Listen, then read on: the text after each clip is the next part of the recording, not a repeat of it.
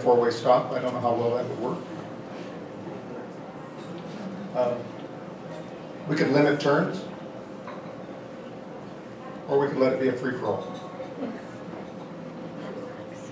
And you may laugh, but I'm, I'm leaning towards the free-for-all. Right. This was an example in Britain. It's pretty famous. This town is a, a dying town in the Midlands of Britain. It's called Poynton, P-O-Y-N-T-O-N. And it has tremendous amount of traffic per day. It goes through, these are two highways that intersect in their downtown. That's the center of their downtown. And pedestrians were, had feared for their lives to cross uh, hundreds of trucks per day, and it was signalized. People would wait at the intersection, gunning their engines to get through. And when they, they didn't look left or right, they would just go as soon as it turned green. They wanted to make a change because their town was dying. And they did that. That's a flat space, it's just different colors of pavers.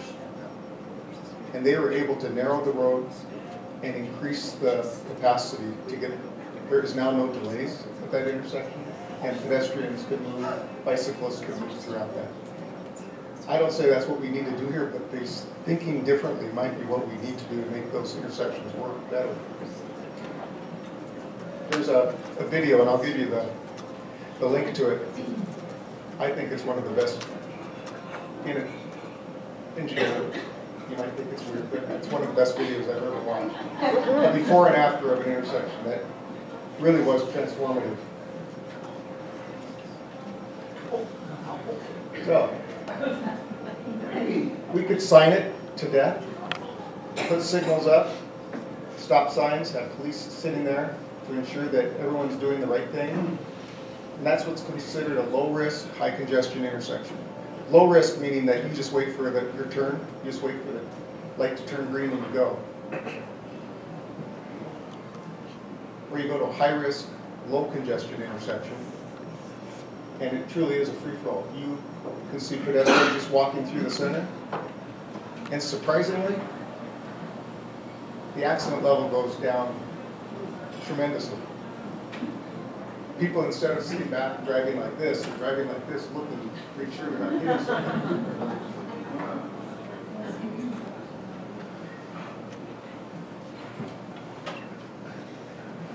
That's really what the, that kind of intersection we're looking at is a shared zone. And what's good about it is that it's multi-use. You can close the intersection down and use it for an event, much easier than you can a signal intersection that's very traditional, curves, traffic signals, a lot of signs. Um, Have an email address just for this. If you have any input, please give it to me. That video is Poynton regenerated, that's what it's called. That's the YouTube um, address, but if you just search for Poynton regenerated, it's much easier. Then you might not think I'm crazy if you're watching this. So, any questions on downtown? Just a comment, I think, more than anything else. Um, I, I think uh, the free-for-all ideas is not a good idea, you know, just on, just off the top of my head. But uh, right now, it's a free-for-all, you know, with bikes and cyclists and pedestrians. So we hope that any kind of engineering applied to this would help solve the problem, maybe not enhance the problem that way. So kind of concerned about that. That's a tough corner. There's no, no getting around that for sure. I think by default, a lot of cyclists uh, and some pedestrians go the wrong way down uh, Church. You know, they'll, and then that's just an accident waiting to happen. Accidents happen all the time that way. And I think if if we, if we think our, our streets back from the semis, mostly the byway doing that, the big trucks, uh, I'm just afraid that we're introducing congestion back into an area that we're trying to get rid of with some of this. And again, you ask for opinions, uh, people give you opinions because all you do is what you hear. I'm just more concerned about um, small kids on bikes, uh, for sure. That was one of the big pushes when I really stepped up for the byway. I we pushed the byway because I wanted uh, semis out of our downtown. I like the kids coming and having a safe route. Right You know, our city needs to be rediscovered because of the byways. I mean, the signage is great, people going down there. We just haven't solved the problem of how to get people safely to there. And you're on the right track on some of that for sure. But you are stuck with some physical limitations there, and that's, that's, that's a big Right. challenge. And, You know, we'd like to sure help you on that for sure. One of the things I am a believer in is that trying something with, cheaply, with paint first, and see if it works. Not put a, a large investment into an intersection. Because an intersection like that could be a million dollar, just for the intersection. We were to put signals in, it's a easily seven hundred and fifty thousand dollar. Back up a little bit, we don't, the city of Sandpoint doesn't own a signal at all. They're all owned by the state of Idaho. If the city starts owning signals, this may sound like a one thing, but I really don't want to maintain signals. It's very expensive.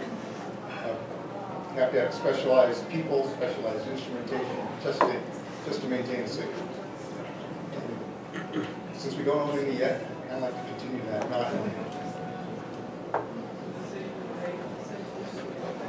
Yes, there would be city-owned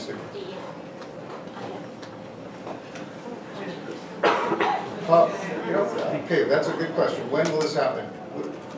The mayor and I went in front of the Idaho Transportation Board about a month ago and asked that they fund the two-way traffic on Fifth Avenue.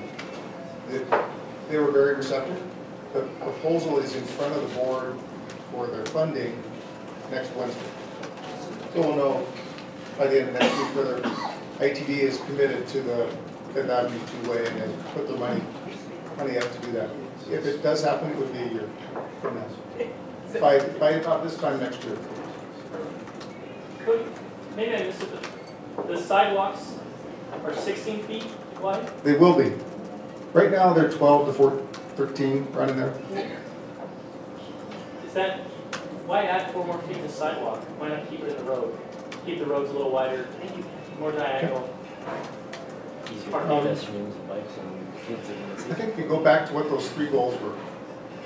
Bikeable, walkable, and two-way traffic.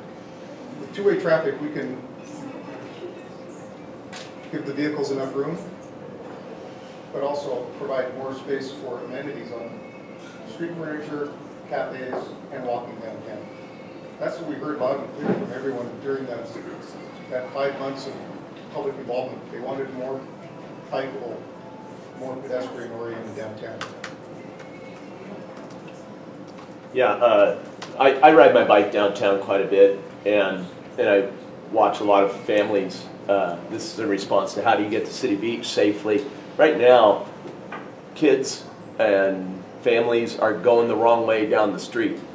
So I don't really think that's a very safe solution. The other thing is two-way traffic, like on Pine Street, I cross Pine Street dozens of times every week on my bike. And having two lanes side by side actually speeds up traffic. And it's a lot harder and less safe to cross at that intersection. I'd say the same is true for Cedar Street. And I think that by moving it to two-way traffic there on Church, for example, provides actually a legal access for pedestrians and bicyclists that's safer. And when you talk about how do you get a family to downtown or a small child that's learning to ride their bike, you're actually creating a safe and legal conduit instead of having them ride on sidewalks, which is illegal, or riding the wrong way down the street. So it actually, you know, gives a uh, bona fide safe route to the city beach.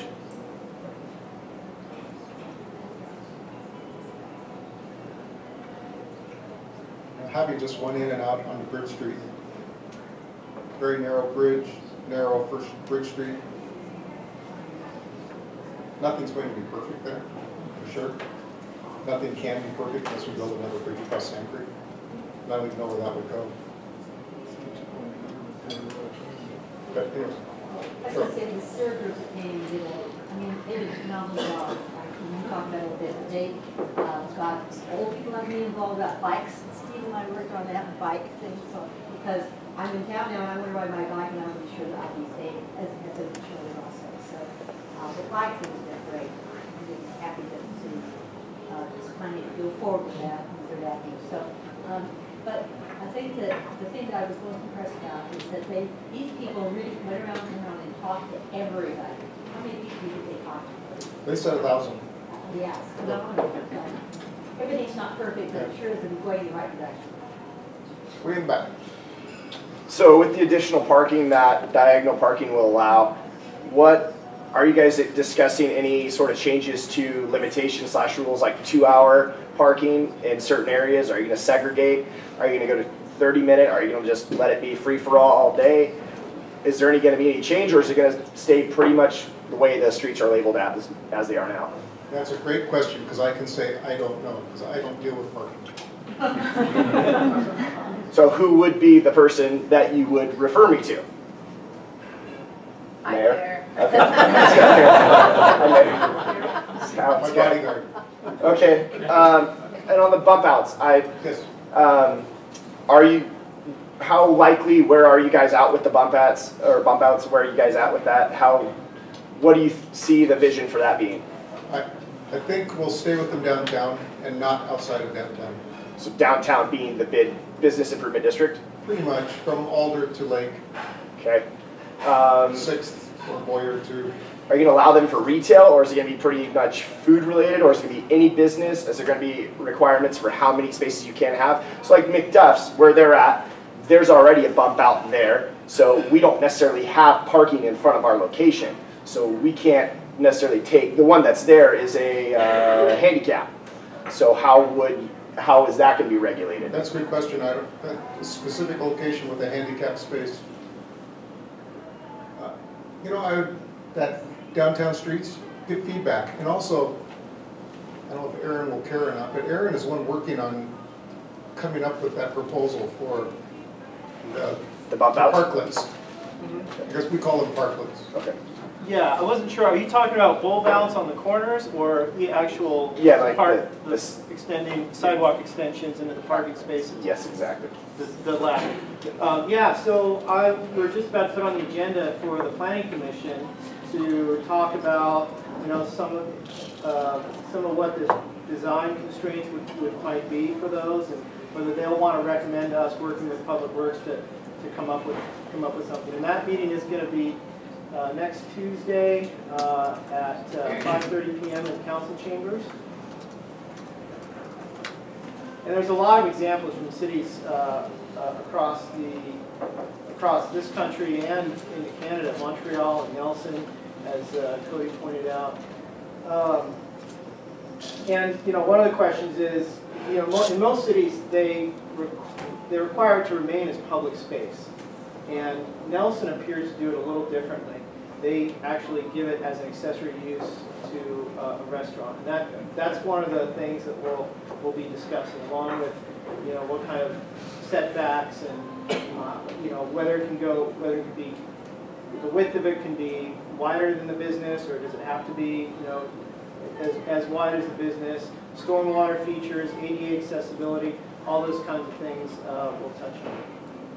So that's a public space right there? That's not, In San Francisco, yeah. And, you know, cities like San Francisco, they don't have a lot of uh, park area per capita. We're, we're kind of blessed that way. It's also a curse because it's a, it's a real uh, draw on taxpayer funds on the city budget.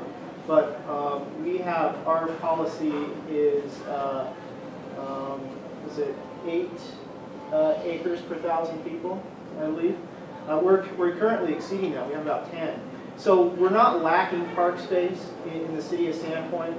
So, you know, and I, I don't know that Nelson is either, is either. Maybe that's why they chose to kind of make it more of a, you know, for the actual businesses, uh, as opposed to it, you know, strictly remaining as public space.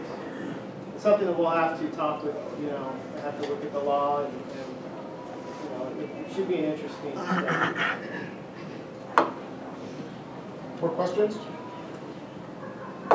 Cody, will these slides be available on the city website at all, just to get a closer view of some of those maps and drawings that are tougher to read on the screen? Which ones you, Uh, The newer one outlining the lights on Cedar, or excuse me, on Fifth, that weren't part of the streets plan, like That that one? one, and, that one is on there. is it, okay. Yep, if you went there now, that is on the list.